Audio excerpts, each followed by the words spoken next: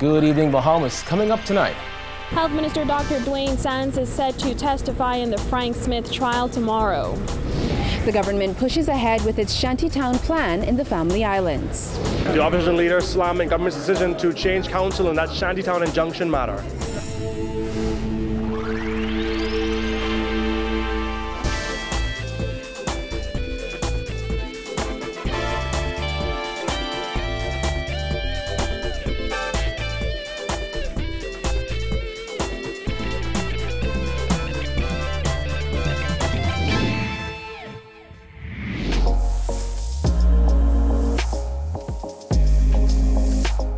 Our news is brought to you by ALIV.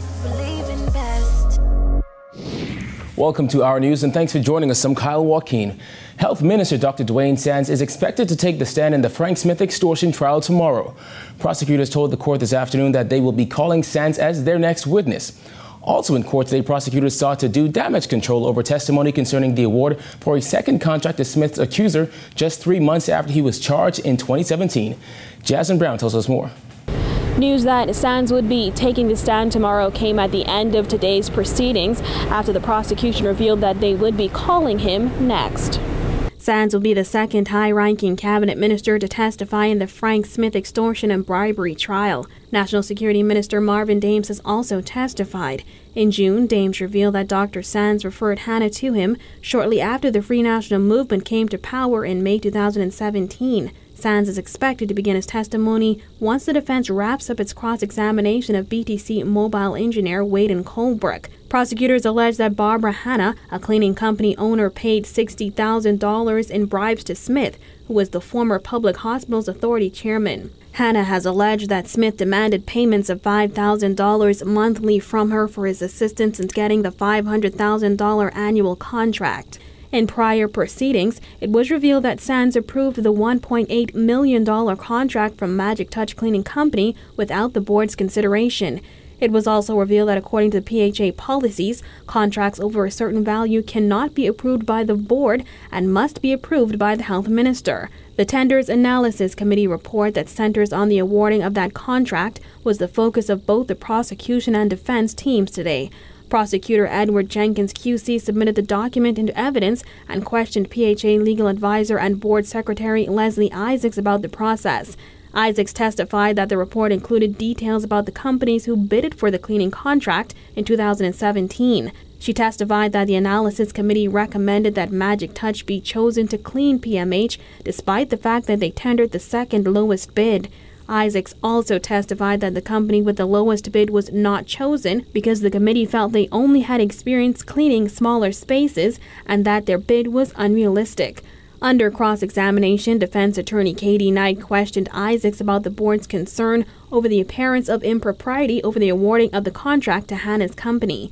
Isaacs agreed that it was a break in procedure and that the board was so concerned that it ordered an internal audit but Jenkins asserted that the irregularities did not taint the process, adding that he assured the Minister of Health will be attacked as he believes the defense thinks Sands did something grossly improper. Smith's trial on charges of bribery, extortion, and misconduct in public office continues before Chief Magistrate Joyanne Ferguson Pratt on Wednesday morning. Reporting for our news, I'm Jasmine Brown. All right, thanks, Jasmine. Well, the government has changed its legal representation in the ongoing Shantytown litigation. This as the defendants in that case are threatening to hold the respondents in contempt of court. With more on this, here's Jillian Gray. The Attorney General's office has taken over legal representation in the ongoing Shantytown case, while the Attorney General shied away from giving the specifics surrounding the difference of opinion that resulted in their separation with former lawyers Harvey Tynes QC and Robert Adams. He did say that his office is not afraid to face the Shantytown residents in court. We will await the guidance of the court. We are not afraid to stand before the seat of justice and uh, to plead our case to the best of our ability on every single point alleged against the government. The attorneys representing the 177 Shantytown residents have alleged that the government issued new notices in August, which would have been in direct breach of the court injunction. They have given the government until Friday to respond to their concerns and have threatened to move to have the Prime Minister, the Minister of Labour, the Minister of Public Works, and the Attorney General cited for contempt of court if a response is not received. We're in discussions with counsel for the other side, and um, uh, we anticipate it'll be amicably, uh, that aspect of the case will be amicably resolved. Chairman of the Shantytown Action Task Force, Dion Foulkes, confirmed that a letter was sent out by the Building Control Division. However, they are not certain if it's connected to the task force or if it's a part of the Ministry of Works' regular notices. He said both he and the Minister of Works, Desmond Bannister, are actively looking into the matter. Now, although the removal of shantytowns in New Providence has been stalled, the government is pushing ahead with its planned shantytown survey in the Family Islands. Since the injunction, we have dissolved the Shantytown Action Task Force in New Providence pursuant to the court order. We're very active in the Family Islands. We're active in Abaco. As a matter of fact, today a team is going on Elbow Cay. On Saturday, the Labour Minister said they will announce the next phase of the initiative and also begin to explore alternative housing for residents, as that seems to be one of the major challenges. He added that their survey will give them a better idea of how many people live in shanty towns in Abaco. That will give us an idea of exactly what we are faced with in Abaco. Um, on Saturday, we are going to establish five subcommittees um, to, to continue to work in Abaco. The, the court injunction does not apply to the Family Islands. It only applies to New Providence. Before the court injunction, the Shantytown Action Task Force was in the final phases of its plan. Many Shantytown residents had already begun to find alternative accommodations. Foulkes said he is not aware if those residents have moved back since the injunction and added that the task force is simply trying to follow its mandate from the Prime Minister. Reporting for our news, I'm Jillian Gray.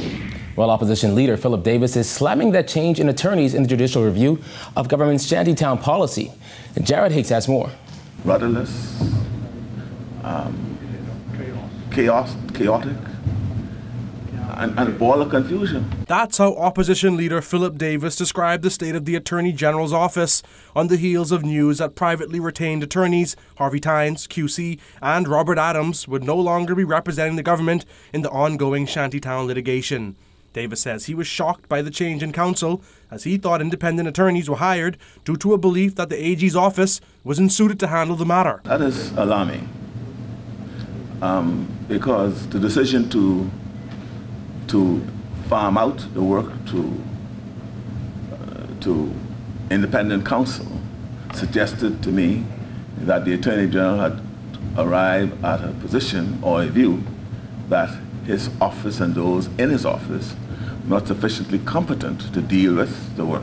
With Bethel acknowledging that money may be owed to Tynes and Adams, Davis also questioned how much money was spent on the endeavor. If they engage counsel and then counsel is disengaging themselves, that is a waste of funds. The Attorney General would have gotten advice from within his chambers.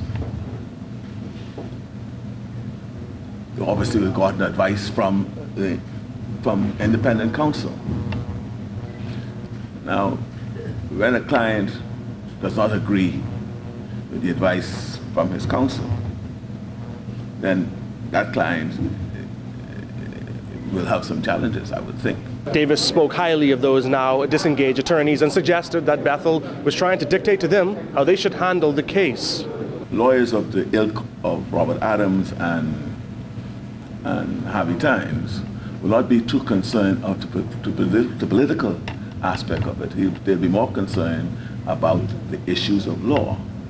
And, and um, the Attorney General may, may be more concerned about the political consequences of, of the matter. They will not be.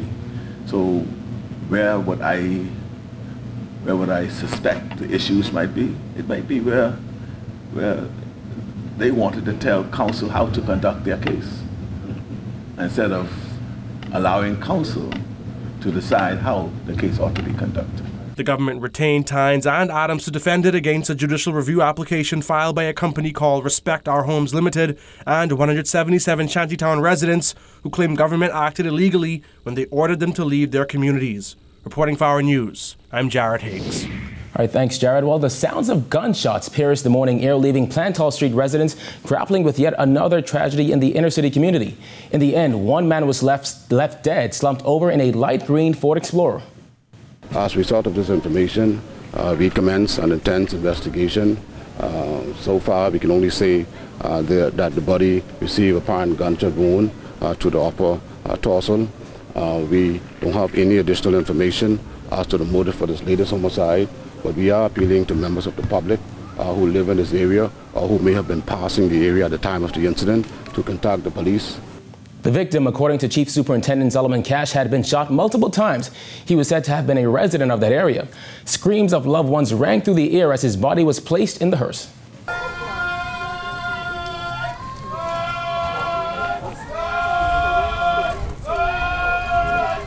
It's too early in the investigation for us to determine whether or not the motive may have been a robbery, uh, but we can tell you uh, that the body uh, was riddled with um, gunshot. Still to come on our news, the opposition leader calls for more transparency from government with a recent contract. Plus, day two of the new school year just as exciting as day one for these kids. Stay tuned.